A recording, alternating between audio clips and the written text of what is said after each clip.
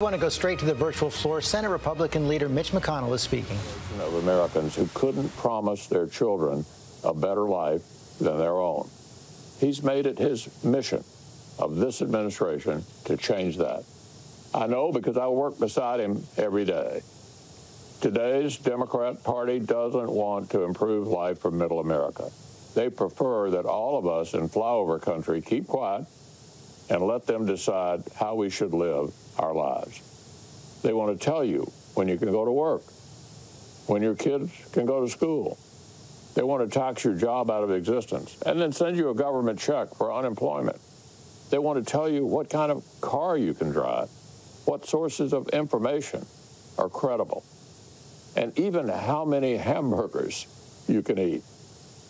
They want to defund the police and take away your Second Amendment rights.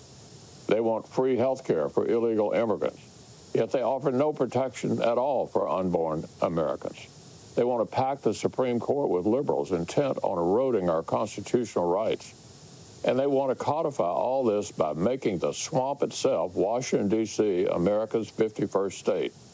With two more liberal senators, we cannot undo the damage they've done.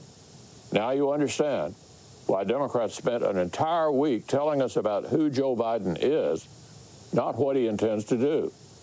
I'm immensely proud of the work the Republican Senate has done. We are the firewall against Nancy Pelosi's agenda.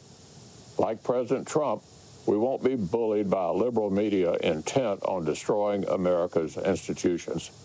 We will stand our post on behalf of the millions of Americans whose stories aren't told in today's newspapers, whose struggles are just as real.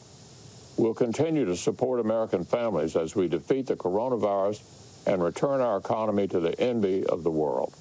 The stakes have never been higher, which is why I'm asking you to support Republican Senate candidates across the country and reelect my friend, President Donald Trump. Hi, everyone. George Stephanopoulos here. Thanks for checking out the ABC News YouTube channel. If you'd like to get more videos, show highlights, and watch live event coverage, click on the right over here to subscribe to our channel. And don't forget to download the ABC News app for breaking news alerts. Thanks for watching.